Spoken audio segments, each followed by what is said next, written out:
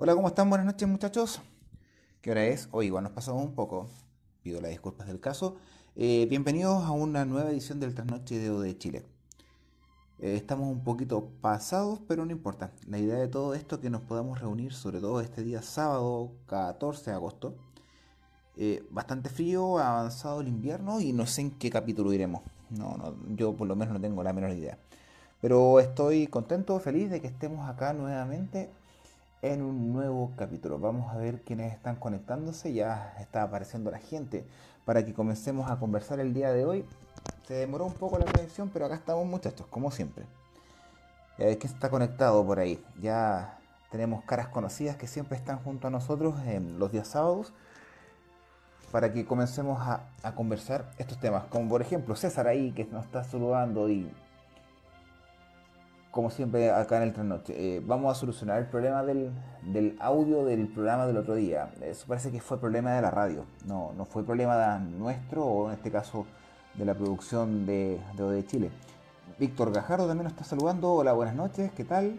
También está Cristian Neira saludando. Es frío, el, el, tema del día de hoy igual es bastante complejo para poder tratar, pero la idea es que podamos compartir entre todos, que todos demos nuestra opinión sobre las temáticas que estamos hablando y también puedan participar. Está con cortes de audio y video cap. Sí, lo volví a descargar y vamos a ver cómo nos resulta César. Yo creo que ya mañana lo voy a estar subiendo. También está Jimena. Hola, ¿cómo estás? Oye, gracias Jimena por la adquisición del libro, de los libros. Se agradece mucho su, su, su ¿cómo se llama? Su, su su, su cooperación. Así que súper. Oye, quiero aprovechar también de que estaba mencionando a Jimena. Ah, Lucas, Luca, ¿cómo estás? Buenas noches, saludos. Eh, Luca, eh, necesito conversar contigo en referencia al libro. Ya, así que está, yo creo que el lunes va a estar disponible para retiro. Eso lo conversamos después por interno. Eh, queda, quedan pocas ediciones del libro, para quien quiera adquirirlo aproveche. Aproveche porque se, a pesar de que fue puesto hace muy poco tiempo atrás, hace muy poquito fue puesto a la venta, ya quedan muy pocas ediciones para que aprovechen. Y si alguien no, para que estén atentos, ¿ya? Ahí está Don Patricio también, unido, Luca. Bueno, creo que estamos todos. Ahí de a poco se está uniendo la gente. Ah, pedirles que si pueden compartir en sus perfiles eh, esta, esta, ¿cómo se llama? Esta edición del Trasnoche para que más gente se pueda unir al programa y podamos hablar sobre este tema que de verdad a mí me produjo bastante dolores de cabeza porque es algo que no, no podemos comprobar es algo intangible y es algo que siempre va a vivir con nosotros como raza humana, como Homo sapiens o como se quieran llamar, y también como seres vivos. Eh, que hasta el momento tenemos la experiencia de que hasta los animales, o sea, los humanos, nosotros estamos dentro del ámbito de, de los animales, también sueñan. Es increíble y es lo que me llamó mucho la atención. El día de hoy vamos a hablar sobre los sueños o el mundo de los sueños. Eh, qué es eso, si realmente existe o no existe, y aquellas cosas que nosotros soñamos mientras estamos en ese descanso de, entre 8 a 4 horas diarias, dependiendo de lo, que uno haga o la cantidad de horas que uno pueda dormir, eh, llama mucho la atención. Llama esa, esa característica que tiene el ser humano de poder plantear una visual totalmente distinta del dormir Exactamente, como lo que dice Cristian, una, segunda vida, excelente. Yo creo que ese es un buen punto. Mira, voy a aprovechar de saludar a José Luis Fernández que está desde Argentina saludándonos. Compadre, ¿cómo está? De acá de Chile le mando muchos saludos. Ella está en nuestro grupo de Facebook. Un grande abrazo. Y para ti también, José Luis, ahí de, desde Argentina. Gracias por estar aquí participando en el trasnoche. El sueño yo lo voy a primer, o sea, en primera instancia yo lo voy a caracterizar como algo personal, mi punto de vista. A mí me llama mucho la atención y bastante. Uno puede estar hablando sobre alienígenas ancestrales, puede estar hablando sobre duendes, sobre fantasmas, eh, las cosas que hablamos, como por ejemplo en, el, en la barcaza lo desconocido los días jueves. Una gran cantidad de temas. O en el blog que yo tengo, en la página, o en la, en la página que yo tengo una columna, en, el mismo Facebook, en YouTube, podemos hablar de un sinfín de cosas. Eh, conspiraciones, duendes, ovnis, el diablo, ángeles, poderes sobrenaturales, telequinesis, piroquinesis, lo que sea, las temáticas que nosotros abordemos, para mí en lo personal, no se compara al poder hablar sobre los sueños, porque es algo que caracteriza al ser humano y no hay persona en el mundo que no haya tenido un sueño. ¿Cuándo nos hemos planteado esa situación de alguien que nunca haya soñado algo en su vida?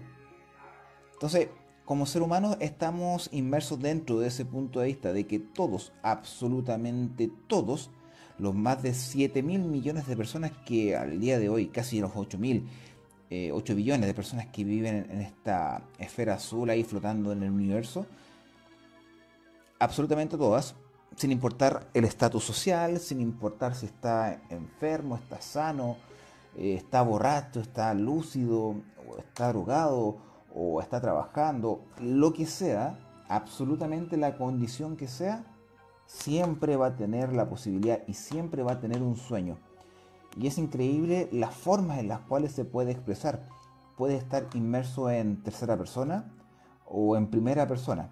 A mí, por lo menos mis sueños, yo estoy en tercera persona, lo cual a mí me, me, me da un poquito de rabia porque la gran mayoría de las personas con las cuales yo hablo siempre dicen, oh, yo participé en un sueño, yo me vi en tal cosa. Pero de mi punto de vista, como Mario González, yo estoy como tercera persona y es fome. Es súper fome porque yo veo la, la situación desde algo lejano, desde algo que no soy partícipe directamente.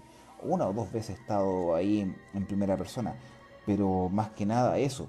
Y además que la cantidad de sueños va a depender de la persona.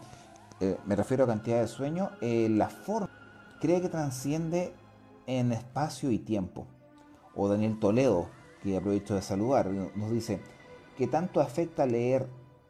A ver, ¿qué, voy a plantear nuevamente la pregunta, porque ahí hay como, irrisorio, como contraproducente y a la vez también redundante. ¿Cómo afecta leer tanto que uno llega a soñar lo que lee? Más que llegar a soñar lo que lee, a todas las personas que están inmersos en algo totalmente full, en trabajo, en diario vivir, en el deporte, tanto leer como nos dice Daniel, el subconsciente, que es algo que no podemos negar que existe, trabaja de una manera totalmente irrisoria y trae a colación todo lo que nosotros recordamos dentro de siete días. Ojo, porque la, psicología y también la pseudociencia tipifica que los sueños es una retrospección del subconsciente en un lapsus de siete días. O sea, tú puedes soñar o tener en tu mente en las cinco etapas del sueño, indiferente a cuál sean, que las vamos a ir nombrando, inclusive los últimos siete días. Y eso de verdad llama, llama mucho la atención, por lo menos a mí. Eh, saludamos a nuestro querido amigo. Voy a irme por este otro lado para poder ver los mensajes que nos están dejando, porque acá por lo menos en la Maple no lo puedo ver bien. Y antes de perder el hilo de la conversación, ya está. Está pensando mi Maple. Ya. Eh, Víctor Hidalgo nos está saludando de Estados Unidos. Dice: Buenas noches, capitán. Pasando a saludar. Oye, los sueños.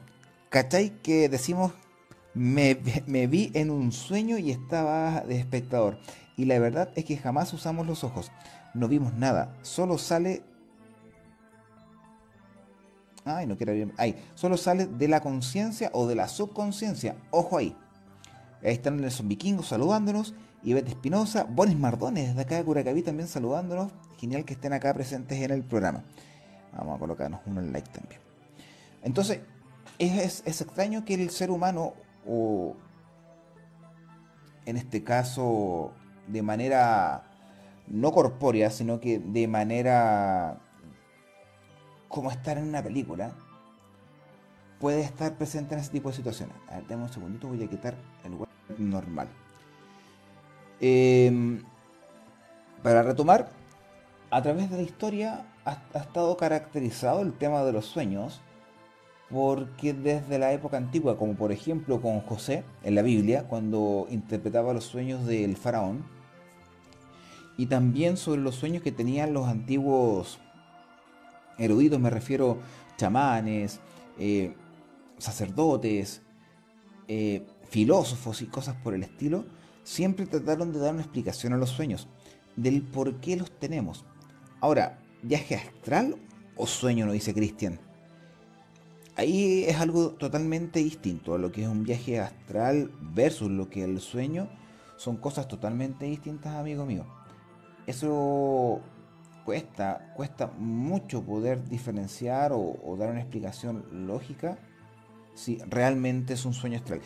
Esa es otra cosa, es la manifestación no corpórea de nuestro espíritu hacia otro plano, el viaje astral, hacia otro plano, hacia otro punto. Ahora, en términos de sueño, sí hay, formas de poder utilizarla como la palabra ensueño. Es lo que está tipificado, por lo menos el término que describe la forma o las características de poder soñar. Beth nos dice, yo tengo sueños en primera y tercera persona a la vez. Incluso puedo saber dónde está la otra yo. Mmm, transposición. Es otra cosa. Pero igual es interesante poder darse cuenta que tú estás en primera o en tercera persona. Por lo menos mis sueños, yo llevo aproximadamente... Estamos en 2009, 2010. Hace 12 años que llevo soñando el mismo sueño. Exactamente el mismo. Y en tres en dos oportunidades, o en tres oportunidades, he tenido sueños distintos que ha sido eh, soñar con amigos que ya partieron, que ya murieron, y soñé con ellos. Eso me asustó un poco. Pero poder eh, tener esa cantidad de sueños durante mucho tiempo y el mismo, de verdad que agobia mucho. A mí me molesta, me, me provoca hasta dolores de cabeza. Y exactamente hace mm, meses que no tengo un sueño. Es raro. Si se repite, se cumplirán. Eh, no, no se van a cumplir, amigo mío. Pero es parte del recuerdo, exacto. El sueño en sí es la manifestación del recuerdo, es traer a la luz cosas que tú has vivido para poder manifestarla. E increíble que el subconsciente trae a colación aquellas cosas para poder efectuar una reparación de la psiquis de la persona. Porque siempre se han dado cuenta que los sueños se caracterizan o por algo que nos molesta, por algo que quizás no es, no es acorde a algo que nos guste, o como lo dice Luca, las, las etapas de, las etapas de conciencia que se experimentan durante el descanso tiene mucho que ver con el estado anímico que está viendo o viviendo la persona y se manifiestan de una experiencia virtual en este, en este caso o en el descanso. Punto aparte es el misterio de estas experiencias cuando se anticipan a hechos que pueden suceder en la realidad posterior. Ha ocurrido el sueño. Cabe mencionar que la manifestación de los sueños se manifiestan en la etapa delta y REM, de las cuales tiene un especial interés científico y que vamos a nombrar. Eh, Daniel Espinosa también nos dice, Cap, esta semana soñé que no me podía mover y me asusté mucho y cuando desperté no me moví por unos segundos. Eso vendría a formar parte de lo que es la parálisis del sueño y los sueños lúcidos. Que eso eh, se manifiesta de otra forma. Que lo vamos a explicar más adelante.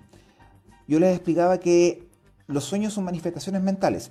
Estamos claros de imágenes, sonidos, pensamientos y sensaciones de un individuo que está en un estado durmiente. Eso quiere decir que la persona está en un estado de letargo, inconsciente, ya desconectado del cerebro, efectuando una reparación muscular y también de lo que es el aspecto celular.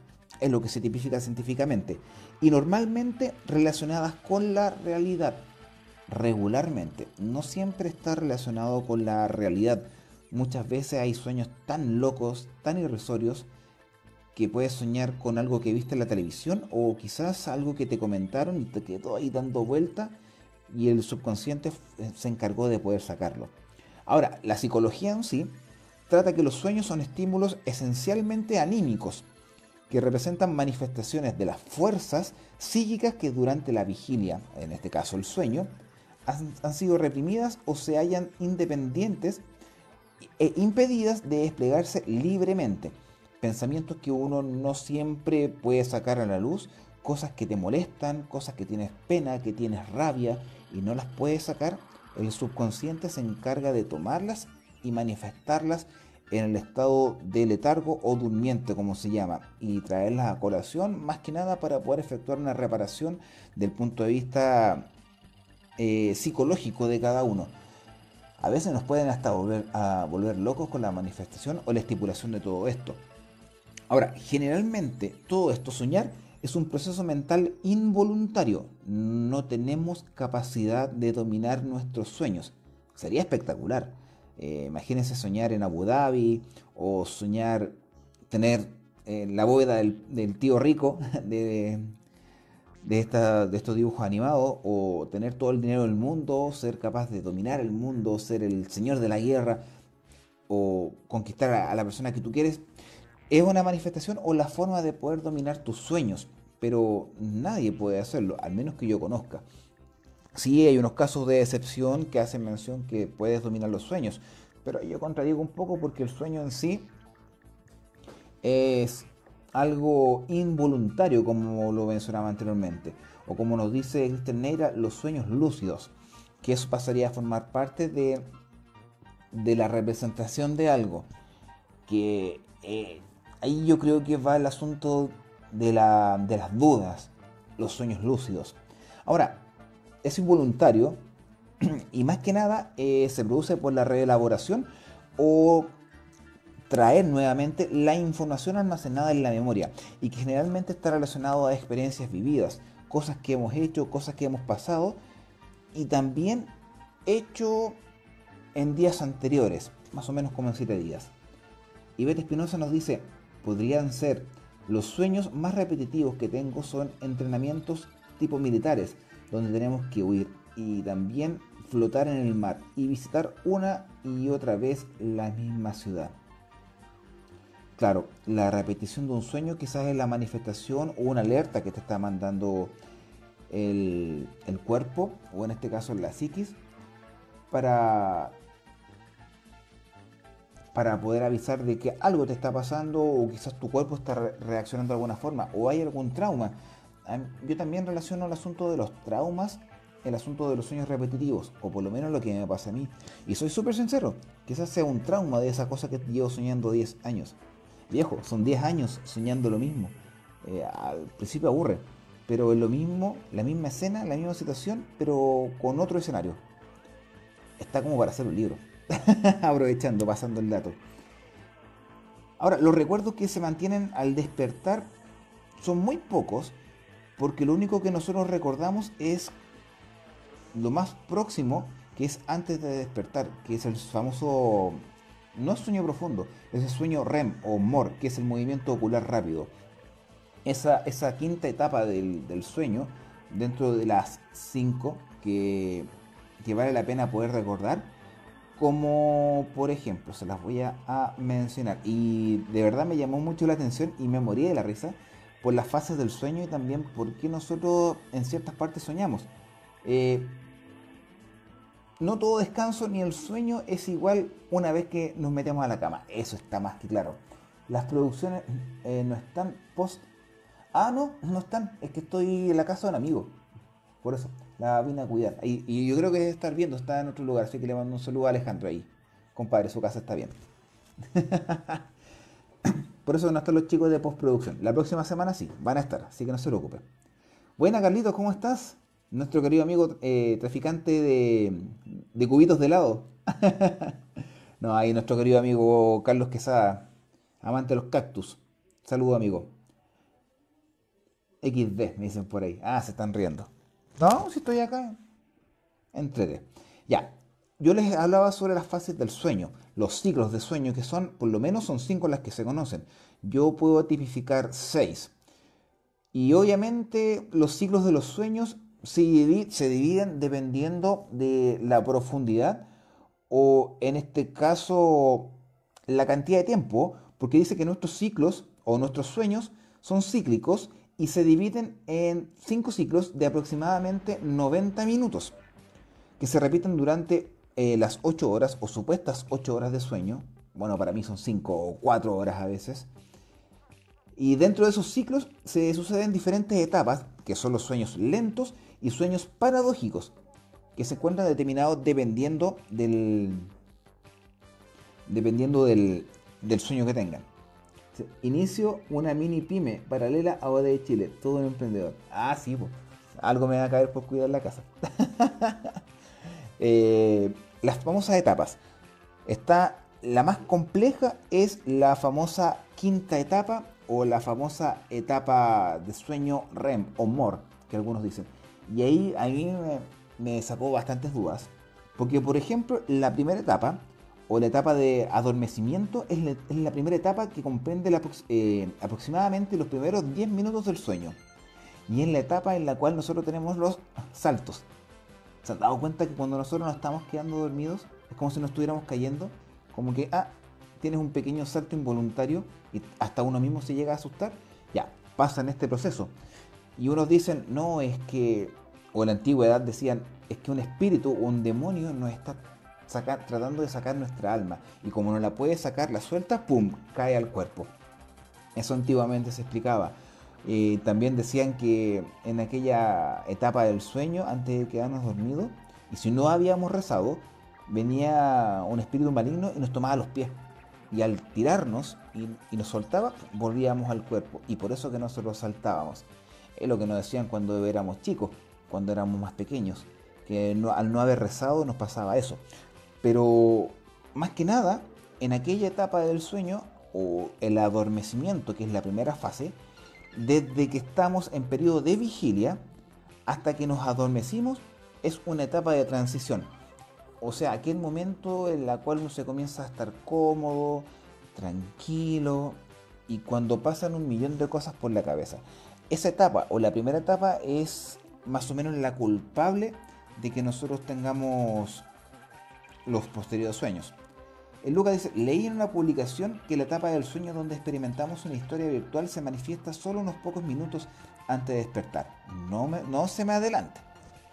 Carlos Sandoval, y aprovecho de saludar. Eh, tremenda novedad. Si no te movís ni la... Ah, dice acá. Cap, esta semana soñé que no me podía... que son peladores entre ustedes, por Dios. ¿Cómo se llama el profeta durmiente? Edgar, el profeta durmiente. A ver, vamos a buscar al tiro el profeta durmiente. Si lo tenemos acá. el profeta. Ah, el señor Edgar Cayce, que fue un medium estadounidense que decía poseer la habilidad de responder a las preguntas sobre tan diversas como la sanación, reencarnación, inmortalidad, espiritualidad, guerras, la Atlántida y futuros acontecimientos mientras se encontraba en estado hipnótico de trance. Ojo, trance no durmiente, son dos cosas distintas. Ahora, si nosotros volvemos a la etapa de los sueños, Edgar Cayce, se llama amigo Cristian. La segunda etapa, que ya pasaría a formar parte del estado de adormecimiento en primera, primera fase, esa fase, la número 2, ocupa aproximadamente el 50% de nuestros ciclos de sueño. O sea, del, tiempo de sueños, la gran mayoría o la mayor parte pasa en la etapa 2, porque va de la mano con el adormecimiento y la etapa anterior que es el momento en la cual, y aquí, pero en sueños de trance, hipnóticos. Trance hipnótico. Eso es lo que pasa con el señor Case. Ahora, el asunto de la etapa, o en este caso el sueño ligero, o la segunda etapa, es, la gran, es, la, es donde se ocupa la gran mayoría de los sueños. ¿Por qué? Porque al momento de quedarnos dormidos o estar tratando de quedarnos dormidos se nos pasa un millón de cosas por la cabeza. A veces nos tratamos de quedar dormidos y no podemos porque tenemos muchas preocupaciones, que en el trabajo, que la familia y cosas por el estilo. Da la posibilidad de que ese 50% de sueños sea relacionado a eso. Y también al asunto del, del estrés el estrés por el trabajo y cosas por el estilo. Ahora, en ese proceso, en esa etapa, el cuerpo se va desconectando lentamente de aquello que hay en nuestro entorno y tanto nuestra respiración como nuestro ritmo cardíaco se va ralentizando o en este caso eh, ralentizando. O sea, colocándose en una etapa más baja de la que nosotros tenemos que aproximadamente las pulsaciones cardíacas están entre 70, entre 80 y 60. Por ahí van normal. Bueno, yo he llegado a 42. Para mí lo normal es entre 40 y 50. No me pregunten por qué. Al menos el médico me dijo que era normal. Pero en ese momento se comienza a, a, bajar lo que son las pulsaciones cardíacas y por eso queda frío cuando uno se está quedando ya dormido. Por la sencilla razón de que baja las pulsaciones, menos sangre, menos calor en el cuerpo, para poder efectuar una desconexión tanto del cerebro como el cuerpo. Existe un personaje chileno, el señor Jaime Galte, que tenía una experiencia similar al del señor Edgar. Todo un personaje, el señor Jaime Galte, eh, se sorprenderán de su historia, nos dice Luca. Buen punto. Lo vamos a buscar, Luca, y lo, lo, voy a indagar y lo voy a leer. Hoy tengo una espina en la mano que me molesta. Me tiene ya desesperado. Ya. Ahora, dentro de la fase o la segunda fase del sueño, suceden etapas de gran actividad cerebral con otras de menor intensidad, algo que se, que se hace y que sea muy difícil despertarnos cuando estamos en ella. O sea, cuando estamos en ese proceso es difícil que nos despierten. Es muy complicado. La señora Patricia, que aprovecho de saludar, dice, hola Cap, mis sueños los he aprendido a interpretar. Hace 6 o 7 años soñé que estaba en el cementerio. Ah, y ahí les voy a contar una experiencia sobre eso. Mi padre se encontraba en un ataúd y a su lugar otro, pero de vidrio en el cual había una mujer. Estaba entera de color rosado mi madre y mis hermanas llorando abrazadas y yo muy molesta con ellas porque lo hacían por la mujer y no por mi padre. De esto pasaron unos 15 a 20 días y se incendió mi casa y entendí después que la mujer que vi en mis sueños era mi casa. Claro, es una interpretación. Mm, interesante, ¿eh? No, al menos eso, eh, cuando he soñado con cementerios, me siento cómodo y cementerios antiguos, esos clásicos cementerios con baldosas que de color celeste, súper lúgubre, como el cementerio de Casablanca, como el cementerio de Chocalán, una cosa así. Y me sentía súper cómodo. Pero como tú pudiste interpretar tus sueños, Patricia, genial. Genial que lo hayas visto de, esa forma y bueno, que lamentable que fue ese desenlace.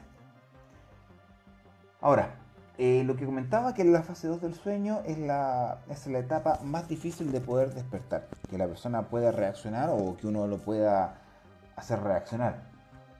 Ahora, aquí también se generan varias preguntas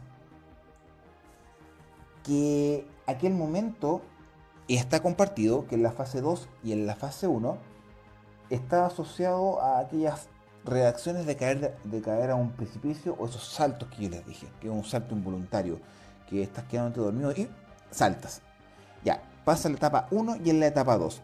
Y más que nada porque ese proceso, y lo ha explicado la ciencia, que al quedar dormido o entrar en un trance de sueño profundo, el cerebro se desconecta del cuerpo. ¿Por qué? Porque cuando el cerebro sueña, genera situaciones y el cuerpo puede reaccionar de manera violenta, salir corriendo, hacerse daño. Entonces para poder impedir eso, el cerebro se desconecta del cuerpo y como aún no te quedas dormido o estás cayendo en el sueño profundo, el cerebro se asusta porque no siente tu cuerpo. Entonces, ah, está ahí. Impulsos eléctricos. Están entre esas dos etapas. Pero más que una etapa de transición, hay que ver qué es lo que pasa en ese proceso que se produce en la mayor cantidad de sueños en esa etapa. Y en la etapa 3, que es la, que viene a continuación, es una etapa súper corta que apenas dura 2 o 3 minutos, más no. Y es la que nos acercamos al sueño profundo. Y esta, durante la fase 3 y 4, el ciclo del sueño es cuando nuestro cuerpo se encuentra en estado de relajación profunda. O sea, no sabes nada puede pasar un camión por el lado tuyo y no vas a reaccionar. Es como al buen chileno, estás raja durmiendo, es en ese proceso. En la etapa 3 o 4. Y obviamente en ese momento, como está en estado profundo, es cuando se dan altas y bajas o los más altos índices de segregación de hormona del crecimiento, y es muy importante para deportistas. Es en ese proceso en el cual se segregan ese tipo de hormonas y se puede efectuar una reparación muscular, reparación de estado de ánimo y cosas por el estilo. Quienes practican deportes y unos eh, dicen, ah, mañana voy a amanecer, Malena canta el tango porque hice deporte y esto va a doler, es por eso, porque en ese, en ese proceso de sueño se provoca una cierta cantidad alta, muy alta, de hormonas que segrega el cuerpo para que se pueda efectuar una reestructuración o reparación muscular a nivel celular. La melatonina, nos dice Carlos Daniel Quesada. Exactamente, excelente. Ahora, dentro de eso pasamos al famoso sueño delta. Como dijo Lucas hace un momento, es la cuarta etapa, que es el sueño profundo que suele ocupar aproximadamente el 20% del periodo total de sueños, o en este caso inducción o de manera involuntaria del pensamiento de cada uno o las cosas que pueden estar pasando. Y es la etapa más importante de todos, ya que va a, va a determinar la calidad de nuestro descanso. Es en ese, en ese proceso es la que determina si al día siguiente me amanezco tal cual me acosté o si me amanezco tal cual o sea, me amanezco como si hubiese tenido un sueño de una semana reparador. Ahora, ¿por qué? Porque durante esta fase del sueño también es difícil despertarnos. Es muy complicado y en este caso el ritmo respiratorio es demasiado bajo. Así también la presión arterial, la cual desciende entre un 10 y un 30%. Desciende las pulsaciones, el cuerpo se coloca frío y por eso que tanto nos abrigamos. Buenas noches, José Riquelme, ¿eh? que está ahí viéndonos. El cristiano dice soñar, despertar hasta tres veces y al final realmente despertar y darse cuenta que estaba soñando. Raro, pero pasa. Pero rico despertar en la noche y como chátale, ya amaneció, ves la hora tres y media. Uh, falta para las seis, sigamos durmiendo. Eh, eso es un despertar involuntario. Y eso se puede producir por el estado de sueño y el sueño que tú no vas a recordar es bastante complicado y te está alterando. Y ahora pasamos a esa parte del sueño que muy complicada de poder explicar y a la vez también es súper extraña, que es la famosa quinta etapa o la etapa o fase REM o MOR, que es movimiento eh, orbital rápido. Aquí dice Patricia Román, el año pasado también soñé que, voy a agrandar el mensaje para poder el año pasado desperté que. Ay. el año pasado eh, también soñé que venía con mi madre y vimos que ya nos llamó la atención. Fue que veíamos entrar a una casa una vez, eh, de una vecina unos caballos y luego otros caballos dando vuelta a la esquina. Al igual que la anterior, a los pocos días de un temporal grande que hubo y salió el canal y la primera, y la primera casa que se inundó fue la de la vecina, luego mi casa y el agua corría con mucha corriente durando la esquina. Eh, sueños anticipatorios. Mm, eso llama la atención. Pero despertar en el sueño. Yo creo que se refiere a vivir en el sueño como si fuera real. Es que vivir un sueño que si fuese real, a mí yo nunca lo, lo he tenido de esa forma. Por lo menos de mi punto de vista. La Jimena, tengo sueños recurrentes. Muchos años soñé que volaba, 20 años desde pequeña. Ahí está. Se me perdió el mensaje. Ya. Eh, como forma de arrancar de personas malignas. Después, hasta ahora, con el, con el mar que se venía encima, a tal punto de que cada vez me ahogaba. Sentí que me moría en la realidad. Y he tenido sueños premonitorios con testigos. Ah, y sueños de color café y solo cuando sueño con paisajes sueño en colores. Me dicen que no es normal. Es compleja esa temática. O si fuera una película antigua. A mí me pasa eso. Es como si fuese una película antigua con cefia y súper iluminada. Eh, no ves con muchos detalles como si fuera una película antigua. A mí me pasa eso. La Ivette Espinosa dice, yo creo que se refiere a vivir en el sueño como si fuera real. Ah, eso lo habíamos leído. Y B también nos dice, me pasa cuando, cuando sueño y me levanto para ir al trabajo. Lo odio. Trabajo dos días gratis y luego despertar para trabajar de verdad. Yo también sueño volando, también lo usaba para escapar. Entonces algo pasa. Quizás el subconsciente quiere efectuar la reparación de algún trauma o algún hecho que te complica, que te trae complicaciones, valga la redundancia, y lo trae a colación en base a un sueño. Y ahora, antes de continuar, yo le quería hacer mención de esta fase del sueño o, REM, eh, que en, la cual es la etapa del sueño que ocupa el 25% de los sueños, no es todo. Inclusive hay unas partes que indican que es el 5% de los sueños y es la etapa en la cual más recordamos. Y los sueños que se recuerdan es en esta, que es el proceso final del sueño, que dura entre 15 a 30 minutos antes de despertar. Y se denomina fase de Rapid Age Movement o rápidos movimientos de ojos, debido al movimiento constante de los globos oculares bajo los párpados. O sea, cuando nosotros dormimos, cuando cerramos los ojos, nuestros eh, pupilas se van hacia arriba, que a los ojos blancos, literalmente. Entonces comienzan a moverse rápidamente y en ese proceso sube la respiración y las pulsaciones cardíacas y también la presión arterial. Quizás se van a reír un poco con lo que yo voy a decir. ¿Saben por qué los hombres despiertan eh, con cierta parte eh, levantada al momento de despertar? Es porque en esta etapa cuando tienes sueños en la etapa REM, sube la presión arterial, sube las, pulsaciones cardíacas y al subir todo, sube todo. Entonces, es la explicación del por qué pasa eso. Y también porque es el momento en el cual se experimentan los sueños más lúcidos y los que más se recuerdan. Aquellos que nosotros tenemos priapismo, cap me encanta cuando usan tecnicismo, porque me dejan ahí pagando. ¿Por qué les gusta hacerme, dejarme ahí a... no, está bien, si el programa lo hacen ustedes, chiquillos. Pero más o menos eso es lo que, lo que yo pude indagar y pude encontrar. Y además que este, esta fase está caracterizada por tener alta, eh, ¿cómo se dice? Alta actividad cerebral. Y para que el cerebro funcione, tiene que tener más, más oxígeno y más sangre. Obviamente aumenta la la respiración, las pulsaciones cardíacas y también la presión arterial. Y esta etapa está caracterizada por tener eh, la frecuencia arterial y cerebral muy similar a la que tenemos mientras estamos despiertos. O sea, ese sueño, una, que estás en un sueño profundo, soñando, y tienes la misma característica de estar despierto. O sea, la que tenemos ahora. ¿El yo de los sueños será lo mismo que el espíritu? Mm, no. No creo, Cristian. Porque el sueño es una manifestación del subconsciente, manifestación, mientras que el espíritu es la esencia del ser humano. Ahora, para nuestros músculos están bloqueados, no puedes moverlos. Y esa fase en la que soñamos, captamos información del exterior. Pablo Alarcón dice, no existe el yo.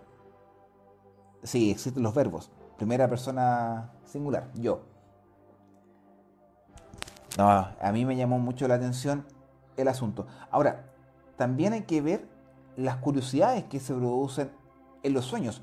Porque obviamente soñar es una actividad cerebral 100%, inconsciente. No podemos dominar ni mucho menos crear. Si no, crearíamos la tremenda película, donde no sé, mm, sería un Iron Man, un ejemplo.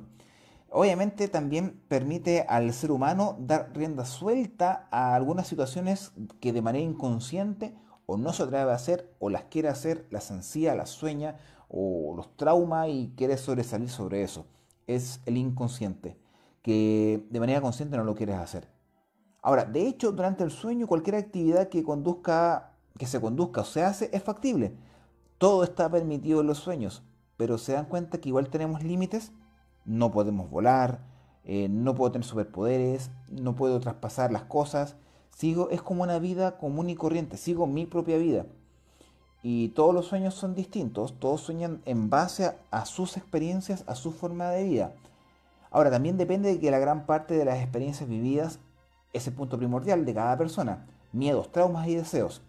Pero algunas curiosidades llaman la atención, como por ejemplo, pasamos más de seis años soñando a lo largo de nuestras vidas. Es como si estuviésemos seis años dormidos soñando sin parar. Ahora, desde antes de nacer, Estando en el vientre materno, uno ya sueña, ya tiene sueños. El feto en sí, desde, su, desde que comienza el latido del corazón o ya puede adoptar conciencia hasta que nace fuera del vientre materno, ya está soñando desde antes. Y eso se puede comprobar con ecografías y análisis científicos. Porque todos soñamos, aunque algunos no recuerdan sus sueños debido a la represión o porque tienen algún tipo de trauma a enfrentar una situación, todos tienen el sueño.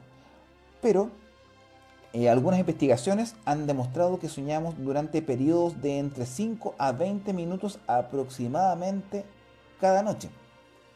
¿Quién maneja o será el director de los sueños? Nosotros mismos, Cristian, el subconsciente. El subconsciente es aquello que no atrevemos a sacar a la luz, que está guardado dentro de nuestro cerebro y es como decir, el, el hombre más tímido, somos la parte tímida, que solos en la casa podemos hacer lo que quieran. El subconsciente, ese es nuestro director, nuestro propio cerebro. La Iveta nos dice, yo he creado historias que escribo o relataba a mi madre, incluso puedo repetirlos. También puedo volar, incluso hacer trampa eh, y ver el celular y mandar mensajes, que algunos dicen que nunca lo usa en los sueños. Mm. ¿Sonambulismo? Ahora, volviendo a esa, a esa, ¿cómo se puede decir? A esa novedad o en este caso curiosidades el promedio es de 5 a 20 minutos de sueño. Nada más, por noche. Si sumamos estos ciclos a lo largo de nuestras vidas, podemos sacar los cálculos que son 6 años. Igual es harto, son 6 años. Otra curiosidad que llama mucho la atención es que la mayoría de los sueños se olvidan isofactos. Porque un científico llamado Alan eh, Hobson reveló que hasta un 95% de nuestros sueños, o sea, los que tenemos todas las noches, se olvidan a los pocos minutos o al despertar inclusive. Tú despiertas y no te acuerdas de absolutamente nada, solamente que te acostaste. Ahora, según él, es tan complicado recordar el contenido de los sueños porque los cambios en sí que se producen en el cerebro durante aquellas horas de sueño no concuerdan con el modo en que estamos procesando la información de manera rutinaria el diario vivir, donde estábamos, quizás el sueño fue distinto, fue en otro lugar, fue haciendo otro tipo de cosas y situaciones así. Ahora, los escáneres cerebrales realizados a individuos que están durmiendo en pruebas de sueño han demostrado que los lóbulos frontales de las zonas cerebrales que juegan un papel fundamental en la estructuración de la memoria y los recuerdos permanecen inactivos durante la fase MOR del sueño o REM, como le dicen algunos. Y ese es el justo momento en el que soñamos. O sea, en el que soñamos, pero es un 25%, un 5% del sueño en la cual nosotros podemos recordar, porque el resto no se puede ni siquiera traer a palestra. Jimena nos comenta, algo curioso que me pasó, se me produjo un milagro en un sueño. Estuve más de un año con la uña del dedo medio de mi pie derecho muy malo. Una noche soñé con la Virgen quien observaba mi pie y me dijo algo. No, y algo me dijo. En la mañana cuando me voy a bañar me sorprendí. Vi que mi uña era nueva, más delgada, totalmente sana. No lo podía creer. Un cambio radical en un día para otro. Mm. Es que estamos pasando a otra cosa. No estamos pasando un sueño estamos pasando a un mensaje. Es que es igual difícil de poder explicar con hechos. Que de un día para otro te haya pasado eso, que te hayas mejorado. Eh, igual es raro. No lo relacionaría con un sueño. Mm, me dejaste en jaque, Jime. Literalmente voy a tomar ese, asunto y lo voy a, a indagar si a alguna otra persona le ha pasado las curiosidades, como lo que acaba de decir Jimena, eh, son abismantes. Yo creo que no es la única persona. Pero fue. Ah, pero fue un sueño. Ah. Ahí está. Ahora, otra curiosidad bastante llamativa es que los hombres y mujeres tienen sueños distintos. No tenemos los mismos sueños. Aunque algunos se enojen, igualdad de género y cosas por el estilo. Entre un hombre y una mujer los sueños son distintos, no son iguales porque varios estudios han llegado a, ciertas diferenciaciones entre los sueños de los hombres y las mujeres y la diferencia radica en el contenido de los sueños. Los hombres suelen tener sueños con escenas agresivas. En cambio, las mujeres tienden a tener sueños con algo más prolongado y de una mayor, complejidad en detalles, personajes y situaciones. Además, los hombres sueñan con, eh, más con otros hombres. En cambio, las mujeres suelen soñar con personajes de ambos sexos por igual. Eso es verdad. Porque dentro de mi vida, unas tres o cuatro veces he soñado con mujeres en mis sueños. Y las otras siempre con compañeros de trabajo, o compañeros de fútbol, o compañeros, no sé. Es raro, es súper extraño. Y sí, tiene razón. Eh, por lo menos de mi punto de vista, tiene toda la razón porque la gran mayoría de los sueños y esos repetitivos que yo le hice mención, y aquellas personas que también se fueron o partieron, que yo soñé después con ellos, que en algún programa yo lo comenté, eh, eran hombres, todos hombres, y no hay ninguna mujer de por medio. Solamente un sueño el año 2000, eh, el año pasado, y cuando soñé con mi madre, que eso fue súper extraño. En ratito más yo les voy a, finalizar el programa, yo les voy a contar esa, esa situación que a mí me llamó mucho la atención. Poder soñar con alguien y que esa persona te sienta al lado suyo, en el momento exacto. Y aquí hay una, una, curiosidad de lo que una de, uno de nuestros amigos dijo recién. A veces soñamos en blanco y negro o en cefia. Más o menos 8 de cada 10 personas, a ver, 8 de, a ver, más o menos 8 de cada 10 personas sueñan en colores. Pero un pequeño porcentaje de la población asegura haber soñado en blanco y negro alguna vez en su vida. En las investigaciones, obviamente, los sujetos experimentan, experimentaban señales de colores suaves pastel. Lo que le dije recién, eh, los sueños que, que yo tuve o que siempre he tenido el mismo tipo de sueño, que está siempre caracterizado por colores como cefia, como pastel, como de película antigua. ¿Y solo los hombres tienen sueños húmedos? No, compadre. Las mujeres también un pequeño porcentaje, pero también lo tienen. Buena pregunta, Carlito. Oye, se están riendo, pero sí es verdad. Sí es verdad, sí. Bueno, depende de cada uno en todo caso. Eh. Y es más que nada. ¿Y no te acuerdas el por qué? Ya, voy a retomar el tema. Nos anduvimos desviando. Yo siempre sueño a color y detallado, no dice Ivette. Pero yo sueño en colores pasteles como una película antigua, onda franconero, y recién cuando los televisores salían a color, una cosa así. Como Benny Hills, a ese estilo, como Alf. Es raro. Ya, eh, lo que les comentaba, en blanco y negro, y las investigaciones a los sujetos experimentaban eh, que señalaban colores pasteles suaves, y para referirse al color del sueño que acababan de tener, una de las grandes curiosidades era el tipo de sueño. La señora Patricia, mis sueños los relaciono con mis padres. Ellos ya no están en este plano, hace mucho más de 31 años. Mi mamá y mi papá, 36 años. Y siempre cuando sueño con ellos es porque algo va a suceder. Acá, eh, Jimena nos dice, y la Virgen en mi sueño me curó y me hizo realidad en la mañana en la realidad. Ah, Como dice eh, José Riquelme, como vértigo de Hitchcock. Exactamente. ¿Y las pesadillas en qué etapa de los sueños están inmersas? En las mismas que los sueños. Al color me refiero, no dice José Riquelme. Ahora, los animales también tienen sueños, y eso lo podemos comprobar. Quien ha tenido un cachorrito de perro en la casa, o de gato, eh, o de pollo, yo tenía pollitos chicos cuando, cuando era pequeño tenía mascotas pollitos eh, sueñan. Eh, inclusive en YouTube podemos ver perritos que sueñan que están corriendo o que están gimiendo. Eh, o amigos que están soñando y están llorando en el sueño. Y lloran y lloran y lloran. Y lo despierta. Oye, ¿qué te pasa? Nada. Y no están soñando nada. Todos sueñan. Ahora, el hecho de que los animales sueñan es una hipótesis difícil de demostrar. No tan difícil, porque yo les, hice mención los perritos que sueñan, los que están soñando, que corren y, lloran, como que algo lo está persiguiendo, están en todas partes. no le crean a YouTube, pero está en YouTube. Y los investigadores creen que los animales no sueñan, pero sí, sí lo hacen. Ahora, ahora los investigadores creen que sí lo hacen. E incluso se atreven a afirmar que pasan por etapas de sueño MOR y no MOR, o sea, REM. Igual que los humanos, o sea que pasan las mismas etapas.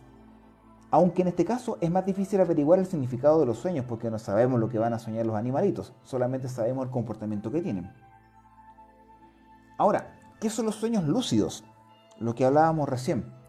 Es un fenómeno que ocurre cuando a pesar de estar durmiendo, somos conscientes de que estamos soñando. Ahí yo contradigo, porque están los sueños lúcidos cuando estamos despiertos y cuando estamos durmiendo. Eh, los sueños lúcidos cuando estamos durmiendo es cuando eh, se nos viene algo a la, memoria de la nada y tú quedas pegado. Así, quedas pegado y se te pasa una película. En el próximo libro les voy a contar un sueño lúcido que van a quedar para adentro. Dice, jaja, sí, me recordó el video del perro soñando que corría. Incluso se paró durmiendo y chocó con el muro y despertó. Exacto. Eh, José Riquelme, al anterior lo dijo el señor Víctor Gajardo, Guajardo. Eh, José Riquelme, mi perrita sueña, se puede apreciar claramente cuando está en fase REM.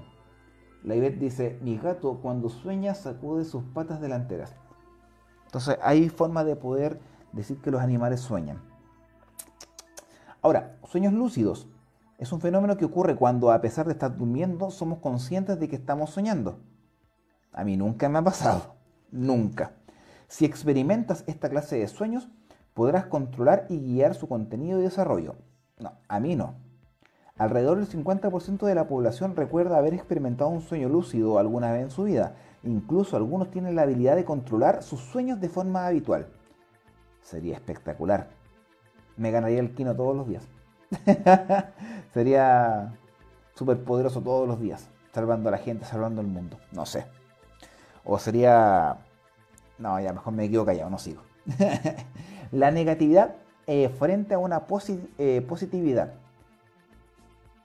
El señor Calvin Hall, que es uno de los máximos exponentes de investigación sobre la interpretación de los sueños, el que te dice, sí se puede. Se puede tener sueños lúcidos, pero yo no tengo. Nunca he tenido un sueño lúcido. Al contrario, el sueño me hace pebre. a mí me hace pebre el sueño, el sueño me controla a mí. Es fácil tenerlos. Me, gusta, me gustaba la odiada de controlar los sueños. Solo hay que practicar. Ahí está Loreto. ¿Cómo estás, Loreto? Apareció nuestra querida amiga. Dice lo que está explicando sobre la negatividad y la positividad que estudió más de 50.000 casos de sueños a lo largo de todo el, eh, durante medio siglo, y este extenso archivo de sueños reveló muchas emociones y sensaciones que experimentan durante el sueño, alegría, temor, rabia, incertidumbre, pena, cuando eh, despertamos llorando, a mí me ha pasado, he despertado llorando, y no tengo idea del por qué, de repente los ojos todos llorosos, todo lleno, todo moquiento, y ¿qué onda? ¿Qué pasa? yo feliz, ¿qué onda? Sí me ha pasado pocas veces y me doy cuenta cuando estoy soñando, nos dice Víctor. Los sueños son una vida aparte. Sí, es como una vida aparte. Es una película. Para mí es una película. Las, las emociones. Las emociones negativas como el miedo, la desesperanza, la tristeza y en general también todas son partícipes de los sueños. Siempre están ahí presentes en un mismo sueño. Los invidentes también sueñan o sea, las personas ciegas también sueñan. Uno siempre se ha preguntado cómo lo hacen. Yo nunca me he atrevido a preguntarle a una persona ciega porque yo encuentro una falta de respeto, por lo menos de mi parte, preguntar, oye viejo, ¿qué tú qué, sueñas si no puedes ver? Sería, sería bastante cruel, por lo menos de mi parte. Ellos sí sueñan, ¿ah? tienen unos sueños bastante, bastante, no extraños, porque ellos sueñan de una manera totalmente distinta, obvio, porque no ven lo mismo que nosotros, pero sí sienten lo mismo que nosotros. Ahora, ellos representan sus sueños mediante otros sentidos, como el olfato, el, oído y el tacto, que son los sentidos primordiales que ellos tienen. Ahora, en cualquier caso se podría aportar un significado de los sueños en una función de percepciones, no de visualización. Para nosotros los sueños son visuales, pero para ellos son más sensitivos. Olores, tacto, eh, calor, frío, porque tienen más desarrollados ese tipo de, de sentimiento o en este caso de, de habilidades. Y lo, lo, más importante y novedoso, existen sueños universales. Es como decir, si tuviésemos la capacidad, ¿qué sueño hoy? Ah, ya voy a tomar un sueño universal. Ahora, esos sueños o algunos de esos sueños son comunes en todos los humanos o en todas las personas. Aunque resulta extraño. Loreto dice, para mí es una vida muy real eh, para tu cuerpo astral, que es tan real como el cuerpo físico. Cristian Neira dice emociones, exacto, los no videntes. Y lo que dice Loreto es que depende del punto de vista de cada uno, porque quizás sí hay personas que son partícipes del sueño, pero hay otros solo que son espectadores. Yo soy un espectador del sueño y es como estar viendo una película. Nada más, no estoy partícipe, no lo encuentro real. Eh, para mí los sueños no son reales. Es una película más que nada. Y va a depender de cada persona. todos tenemos un comportamiento distinto, una forma de ser distinta, entonces tenemos una interpretación distinta de nuestros sueños. Y sería espectacular poder tener la capacidad de, estar inmerso y ser partícipe de un sueño o tomar el control de un sueño. Pero como yo les dije, leo tanto, investigo tanto y con todo respeto, veo todo el día entre clases de taekwondo, eh, lo que leo, las columnas de la revista, las columnas de la página web, del blog, etc. Yo digo en aspecto de trabajo, en mi trabajo normal, deseo tanto que que yo duermo Z, no sueño nada y cuando sueño el sueño me conduce lo que debo pasar. Ni siquiera yo tengo la cualidad de poder manejar el sueño. Ahora, yo les hacía mención de una de las novedades de que hay sueños universales. Ahora, los investigadores han revelado que existen ciertos, eh, ciertos temas recurrentes en nuestros sueños a pesar de las diferencias culturales, independientes de donde estén ubicados ustedes. Como por ejemplo, aquí yo quiero que levanten la mano o coloquen un like o escriban algo. Si yo, a mí me pasa. Si a alguno de ustedes les ha pasado. Todas las personas soñamos con que nos persiguen. Levanto la mano. Nos atacan o nos caemos al vacío. Otros sueños universales son las experiencias escolares, sentirse inmóvil o sentir vergüenza por estar desnudo en público. ¿Alguno de ustedes les ha pasado eso? Por lo menos el, de perseguir me ha pasado. Sí, sobre todo me ha perseguido carabineros. Hasta en la vida real me ha perseguido. Pero que quede entre nosotros. Loreto Pérez nos dice, cuando niños, eh, cuando niños eh, no eh, nos soñaban con un gigante que los perseguía arrastrando, un tronco gigante y, una era como una pulgarcita arrancando de un tremendo tronco que el gigante hacía o dirigía hacia ti. Varias veces soñé esa pesadilla cuando era pequeña. No, yo soñaba pesadillas. Yo creo que vamos a tocar el tema de las pesadillas. Pero más o menos esas son las novedades. Y ya van dos personas, y yo también, que han levantado la mano en base a la última curiosidad de ese sueño universal o de que nos están persiguiendo, cuatro, junto a, Loreto. Sí, que me persiguen y ahí vuelvo para escapar. Ahí vuelvo para escapar. Eh, la Jimena, ya van cinco. Cinco de 16 personas que están conectadas a esta hora de la noche. O ahí, no, 20. 20 me parece a mí. Eh, o que caen al vacío, o nos atacan. Sueños universales. Habemos varios. Mis compañeras y yo teníamos el sueño de gigantes que nos perseguían en el liceo. Mira tú, Ivette, igual que Loreto. Qué casualidad. Ahora, lo más interesante de todo esto, idem, nos dice Cristian. ¿Viste? todos hemos tenido un sueño universal. Qué interesante, ¿no? Ahora, lo que llama la atención y lo que muchos han querido hacer es la interpretación del sueño ya hace muchos años atrás, eh, en la antigua Grecia, ya habían personas que trataron y quisieron dar una interpretación a los sueños. Luca nos dice, cuando niños muchos soñábamos con una sombra, lo he escuchado frecuentemente. Mm, también lo he escuchado. Ahora, este tema estamos hablando de quien desde el siglo II después de Cristo en Grecia, el famoso interpretador, de sueños griego llamado Artemidoro fue quien trató de dar explicación o también eh, se originó la palabra oniromancia. Y la, la oniromancia es la cualidad de poder interpretar los sueños. Víctor nos dice por acá, siempre que me persiguen no puedo correr rápido. Sí, como que quedas empantanado, como que quedas pegado y corres lento. Aumenta el susto. Siempre cuando, eh, siempre cuando salto llego hasta como 10 metros. ¿Viste? Ahora, yo les explicaba la oniromancia es la forma en la cual en la antigua Grecia quisieron darle interpretación de los sueños por medio del griego llamado Artemidoro, siglo II después de Cristo. Ahora, esto se conoce como la anirocrítica, que puede verse como un catálogo de los sueños más frecuentes de los hombres antiguos, de su antiguo psiquismo, conscientes en bastantes cosas, como el del hombre moderno, pero en otras cosas.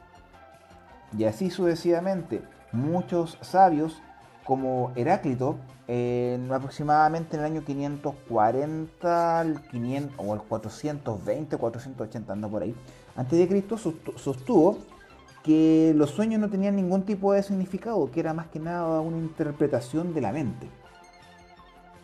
Carlos Quesada dice, en momentos de estrés yo tengo sueños repetitivos. Sueño que estoy en la universidad, llego a fin de año con todos los ramos pasados, pero me entero que tenía un ramo que nunca fui. Uy, sí. Uy, sí, tienes razón. Me sumo. Me sumo a lo que dice Carlos Quesada. Terrible. Eh, pero luego recuerdo que esa etapa ya la pasé y digo, uff, fue un sueño.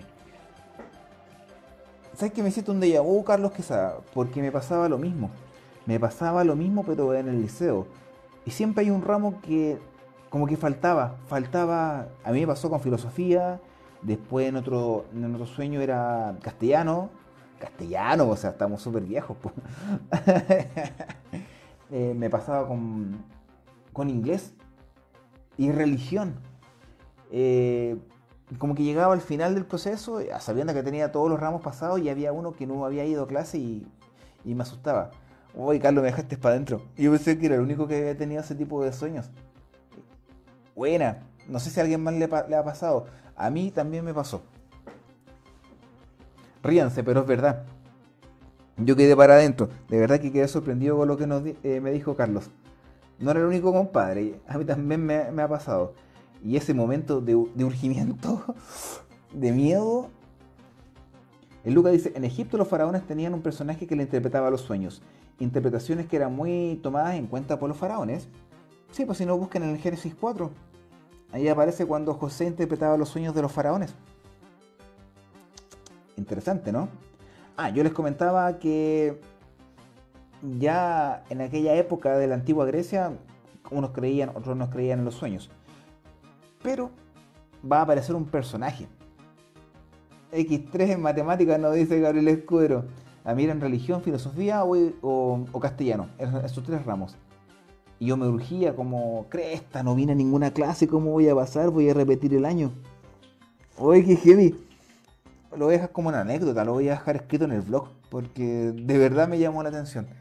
Me dejó para adentro. Bueno, si nosotros hablamos de interpretación de los sueños, tenemos que hablar de un personaje, hacia 1900. Yo creo que muchos de ustedes lo conocen.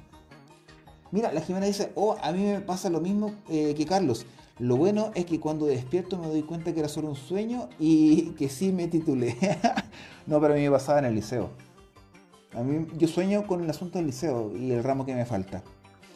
José Riquel me dice, a mí todavía me pasa lo mismo en los sueños, de llegar a una prueba donde no he ido a ninguna clase y tampoco había estudiado nada. Buena, qué buena. qué genial. Habemos varios. Vamos a llegar a un personaje hacia el año 1900 en la cual eh, crea una obra, La interpretación de los sueños. El famoso y no bien ponderado Sigmund Freud, o Fred, Freud, como lo, puedan conocer. Quienes lo conocen saben de quién estoy hablando. Eh, es muy eh, se puede igualar mucho a Carl Gustav Jung en el asunto de la psicología, el estudio del comportamiento. Y en esta obra, que se convirtió en uno de los libros más influyentes del siglo XX, él tropezó con una, resistencia sobre el psicoanálisis del comportamiento humano y también la representación en mejor Jung. Sí, Paulo. Sí, es más cabezón. Y aparte que Carl Gustav Jung todo como que lo asimila a soñaste con esto, es un falo. Sorry por decir eso, pero eso es lo que me causa me causó leer los libros de Carl Gustav Jung. Eh, o que hablaba de, de órgano reproductor masculino, femenino y cosas por el estilo. Problemas de las. Por algo, él, él con Carl Gustav Jung es como uno de los primeros que dio pie a la hipótesis psicosocial del fenómeno ovni, que todo está acá. Es medio raro Carl Gustav Jung, pero Freud igual es interesante poder leer. Es como Friedrich Nietzsche. Ahí me volé la cabeza con un libro de él. Me quedan cinco por leer todavía. Ya, bueno, harina otro costal. Ahora, el señor de Sigmund Freud llamaba la atención sobre las zonas marginales del ser humano irracionalidad y el sexo. Un punto primordial, el sexo. Muestra el inconsciente y la no conciencia, que el inconsciente es el, que maneja el, sueño y a la vez también que la psiquis es la que ordena todo en nuestro pensar y sentir, nuestra psiquis, nuestro pensamiento. Mundos internos, mundos externos, Carl Gustav Jung. Francisco Murillo, saludos cordiales para todos de eh, Tlaxcala, México. oye, mi inglés es horrible, espero, y aparte el español es horrible, mi español. Así que saludos, Francisco Murillo. Entonces nosotros podemos estar hablando de Sigmund Freud y también sobre el contenido manifiesto y también sobre el contenido latente de los sueños, como por ejemplo el contenido manifiesto de los sueños que es la historia o sucesos tal cual como el soñante lo vive y el contenido latente es el significado del verdadero sueño. Y Carl Gustav Jung, que es el famoso discípulo heterodoxo de Freud, sostenía que los sueños eran un órgano de información y de control. Ahora, los símbolos oníricos o representación de los sueños, y según el autor, transmisor y cosas por el estilo, va a depender de cada uno y de las expresiones que les puedas dar. Y así podemos estar hablando sobre sueños, pesadillas, cosas que me hablaron hace un momento. Los sueños residuales, que son aquellos cuyos contenidos poseen distintos elementos en el mundo real que sucedieron durante el día, cosas que sacamos de nuestro diario vivir y lo traemos al sueño. Las pesadillas, que es algo más atemorizante y también está relacionado al asunto emocional y tiende a despertar el miedo en uno al poder saltar de la cama, sacarte de ese proceso de sueño para sacarte de la pesadilla y es una sensación que no tienes el control, es de alto impacto y obviamente recae sobre el ánimo de la persona. Ahora, las pesadillas pueden originarse por traumas o abandonos durante la niñez y en general las razones por las cuales se tiene malos sueños pueden ser estrés, trauma, miedos, inseguridades, insatisfacciones y problemas de salud o de relación. También están los sueños curativos, que son las terapias de los sueños, que es la hipnosis, en la cual es súper popular y especialmente entre víctimas de estrés postraumático que sufren recurrentes pesadillas. Estas pueden ser utilizadas bajo el aspecto de sueños lúcidos controlados por un interlocutor, que son las hipnosis, y también poder generar un mejoramiento en el comportamiento psíquico. Y aquí me llama la atención los sueños premonitorios. Sí, yo sé que existen. Me pasó. Por eso se los puedo decir. No tengo cómo demostrarlo, pero yo sé que existen los sueños premonitorios y más de alguna persona va a levantar la mano. Porque hay numerosos ejemplares o ejemplos de sueños premonitorios que, que parecieron predecir eventos futuros. Algunos lo hicieron con, por pura suerte, por pura meros eh, coincidencia. Y la, más que nada anticipando un hecho que realmente pasó o al día siguiente o lo que decía la señora Patricia, soñó con esto, lo supo interpretar. Pero eso no es em, Premonitorio es la interpretación de algo que va a pasar.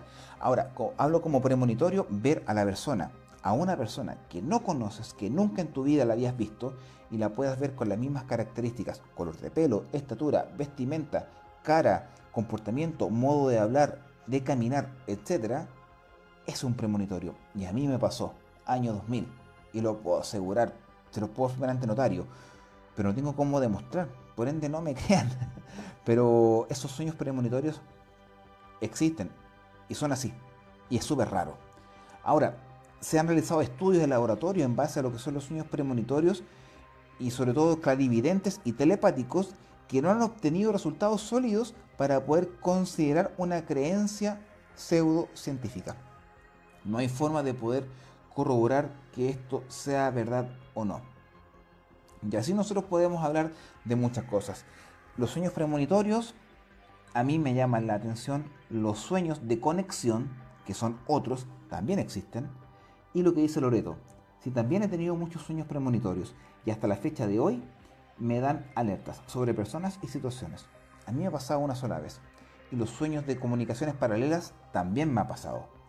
Cuando era pequeña soñé con mis, con mis primas sin conocerlas. Mi abuelo me dijo que era normal en la familia cuando somos niños, porque nuestra sensibilidad y nuestra inocencia es totalmente distinta. Y los sueños, eh, lo dije anteriormente, se me fue la palabra, sueños paralelos, no, de comunicación con otra persona.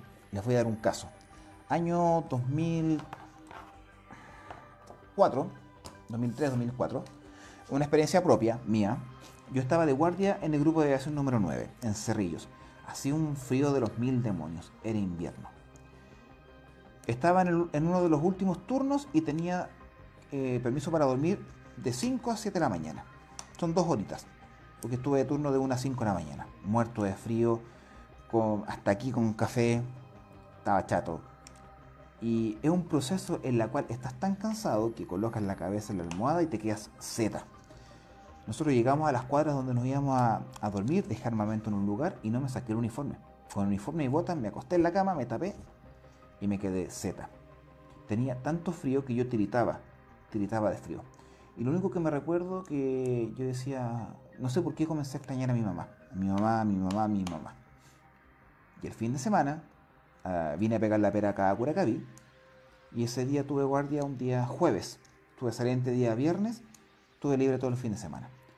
Llegué a la casa de mi viejo, hablé con mi vieja. No, llegué a mi casa y mi mamá me dice, oye, no es así como me dice ella, pues, te no van a hacer bullying. Eh, oye, ¿sabes qué? Soñé contigo el jueves, eh, de jueves para viernes en la madrugada, como me dijo, como a las 5 de la mañana, te sentí que te acostaste al lado mío, en mi espalda, estabas con botas, sentí tus botas en mis piernas y tiritabas de frío. Entonces yo como que desperté y miré al lado, al lado mío y no estabas.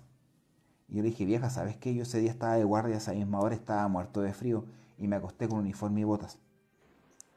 Y los dos nos quedamos mirando y ya cambiamos de, de tema mejor. Entonces fue como muy extraño. Fue bastante alocada esa situación y tuvimos los dos el mismo sueño. O sea, yo soñé con ella y ella soñó conmigo. A diferencia que yo la soñaba a ella así súper lejana, pero ella me soñó y me sintió al lado. Sintió que estaba con botas, con uniforme, muerto de frío a las 5 y media de la mañana, a esa hora, se recuerda muy bien. Y es lo mismo que me pasó a mí. Entonces yo digo que los sueños van mucho más allá. No es solamente la manifestación de un inconsciente, sino que es un tema para estudiar y analizar y poder ver que es eh, la posibilidad de entrar a otro mundo, no sé, un supuesto, y que tenga la posibilidad de comunicarse hacia otros lados. Sí, es interesante la temática de los sueños. No la interpretamos o no indagamos mucho más allá. A mí me hubiera gustado haber indagado más, pero yo creo que más, más sería más de lo mismo. Y hablar de los sueños es increíble. Por lo menos para mí, hablar de esa situación es entrar a un tabú, a un tema que yo no tengo respuesta y no sabría explicar y yo creo que nunca vamos a explicar. Como dice la señora Patricia, una conexión entre madre e hijo no lo sé, puede ser. Desdoblamiento no creo, porque yo me acuerdo que estaba ahí. Yo me acuerdo que estaba en la guardia, en el lugar de la guardia de, de, Cerrillos. Pero yo ya estaba acá en Curacaví. Estamos hablando de, más de 50 kilómetros de distancia. No lo sé. porque yo dormí plácidamente, para mí esas dos horas fueron eternas, descansé muy bien, tenía mucho frío, se me pasó, y al despertar, desperté como nuevo. Esa es la magia de, dormir cansado. Pero me llamó mucho la atención. Ahora como resumen, para ir ya finalizando el trasnoche el día de hoy, es una temática que debemos estudiar más allá, ver el comportamiento de la gente y también comenzar a recopilar información en base a los sueños que nosotros tenemos. Tener la, posibilidad de ir anotando, de ir viendo las cosas que, se nos aparecen todas las noches. Eh, nos dice, cuando iba a Zumba, el instructor soñó que, estaba, que entraba en un palacio medio, medio destruido y lo atacaban monstruos y que yo le salvaba con un palo. Yo soñé que tenía que salvarlo y solo tomé un palo. Y yo creo que fue porque tuve que ayudarle en su trabajo y nunca me dio las gracias. Puede ser, ¿ah? Pablo dice, dicen que, que es largo el cordón de plata. Ah, sí. José Riquelme, yo también he tenido algunos sueños premonitorios y no tengo forma de explicarlos. Es algo demasiado extraño. Cristian Neira dice, faltan más estudios. Así es, faltan mucho más estudios. Y como conclusión, lo único que puedo decir, el mundo de los sueños existe.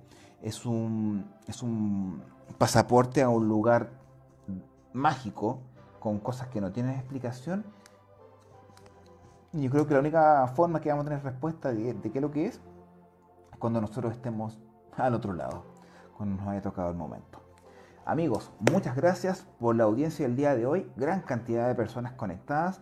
Ha sido un tema fascinante y los invito a, bueno, en primera instancia que nos encontremos el jueves en la Barcaza Lo Desconocido por FM Music a eso de las 23 horas y el próximo jueves, el próximo jueves, el próximo sábado nos vamos a encontrar con otro otro tema más interesante acá en la Barcaza Lo Desconocido. Gracias por su participación y quien quiera adquirir uno de mis libros, que quedan pocos ejemplares, aprovechen, contáctense conmigo a través de Messenger o WhatsApp o al correo electrónico observador gmail.com. Buenas noches muchachos, cuídense, nos encontramos en otra oportunidad y que tengan buenos sueños. Chao.